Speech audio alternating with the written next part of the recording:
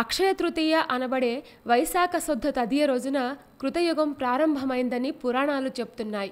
ఈ రోజున శ్రీ మహావిష్ణువు పరశురామావతారాన్ని ధరించాడని అక్షయ తృతీయ రోజు రాహుకాలం వర్జ్యంతో సంబంధం లేకుండా ఏ సమయంలోనైనా ఎటువంటి శుభకార్యమైనా జరుపుకోవచ్చని పురాణాలు చెప్తున్నాయి. నరసింహస్వామి ప్రహ్లాదుణ్ణి అనుగ్రహించింది కూడా ఈ రోజే. ఇలా అన్ని విధాలుగా ప్రాశస్త్యం ఉన్న రోజు అక్షయ తృతీయ. అసలు అక్షయ తృతీయకు ఆ పేరు ఎలా వచ్చిందో తెలుసుకుందాం. శ్రీ మహావిష్ణువుకి ఇష్టమైన ప్రతిదీ ఆయన ఇల్లాలైన లక్ష్మీదేవికి కూడా ప్రీతికరమే. శ్రీ మహావిష్ణువు పరశురాముని అవతారం దాల్చిన రోజు కాబట్టి ఈ రోజు ఏమి చేసినా అది అక్షయంగా మారుతుందని చెప్తున్నాయి. ఈ రోజు చేసే పూజలు పుణ్య కార్యాలకు సంబంధించిన ఫలితం ఎన్ని జన్మలైనా అలాగే ఉంటుంది. అందుకే అక్షయ తృతీయ రోజు శక్తి మేరకు జపదానాలు చేయాలి. క్షయం కాని ఫలితాన్ని ఇస్తుంది కాబట్టి ఈ రోజుకు అక్షయ తృతీయ అని పేరు వచ్చింది.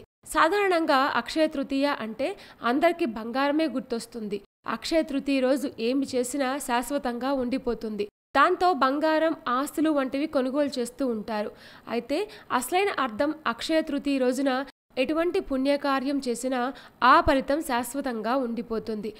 అక్షయ తృతీయ నాడు ఉదయాన్నే లేచి తలస్నానం చేసి అక్షింతలను శ్రీ మహావిష్ణువు పాదాలపై ఉంచి పూజ చేయాలి. ఆ తర్వాత ఆ బియ్యాన్ని జాగ్రత్తగా ఏరి కొంత బ్రాహ్మణులకు దానం ఇవ్వాలి. మిగిలిన బియ్యాన్ని దైవ ప్రసాదంగా స్వీకరించాలి. అక్షయ తృతీయ రోజు బంగారం ఎందుకు కొంటారు అనే విషయానికొస్తే అక్షయ తృతీయ నాడు ఏం కొంటే అది రెట్టింపు అవుతుందని నమ్మిక. అక్షయ తృతీయ శ్రీ మహావిష్ణువుకు మరియు మహాలక్ష్మి అమ్మవారికి సంబంధించిన పర్వదినం. అందుకే లక్ష్మీ స్వరూపమైన స్వర్ణాన్ని అంటే బంగారాన్ని కొంటారు. అక్షయ తృతీయ రోజు బంగారం కొంటే అక్షయంగా అంటే క్షీణించిపోకుండా ఐశ్వర్యం ఉంటుంది కాబట్టే అందరూ ఈ బంగారాన్ని కొంటారు.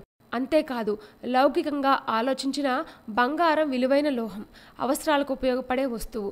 అత్యవసరంగా ధనం కావాలంటే బంగారాన్ని అమ్ముకోవచ్చు లేదా తాకట్టు పెట్టుకొని ఆ పని పూర్తి చేసుకోవచ్చు. దైవికంగా లౌకికంగా ముఖ్యమైనది బంగారం కాబట్టి సంవత్సరంలో ఏదో ఒక రోజు కొనే సాంప్రదాయాన్ని పెద్దలు ఏర్పరిచారు. దీనివల్ల అందరూ ఈ రోజు కోసం ఎంతో కొంత ధనాన్ని దాచి బంగారం కొంటారు. దీనివల్ల పొదుపు చేయడం అలవడుతుంది పెద్దలు పెట్టిన ప్రతి సాంప్రదాయంలో ఏదో ఒక రహస్యం దాగి ఉందనడానికి అక్షయ తృతీయ ఒక నిదర్శనం. ఈ రోజున కేవలం బంగారం మాత్రమే కాదు ఏదైనా కొనవచ్చు శ్రీ మహావిష్ణువుకు శ్రీ మహాలక్ష్మికి ప్రీతిపాత్రమైన రోజు కాబట్టి ఈ రోజు ఎటువంటి పాప కార్యాలు కానీ చెడు ఆలోచనలు కానీ చేయకుండా మంచి పనులను చేయాలి. ఎందుకంటే ఆ రోజు ఏ పని చేసినా దాని ఫలితం అక్షయం అవుతుంది.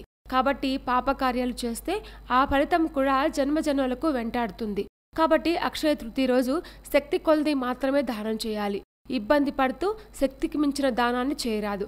అక్షయ తృతీయ నాడు ఏవైనా జీవితానికి పనికొచ్చే కొత్త విషయాలను నేర్చుకోవడం మానరాదు ఎవరి మీద కోపం మరియు ద్వేషం చూపించరాదు ఇలాంటి మరిన్ని విశేషాల కోసం మా ఛానల్ని సబ్స్క్రైబ్ చేయండి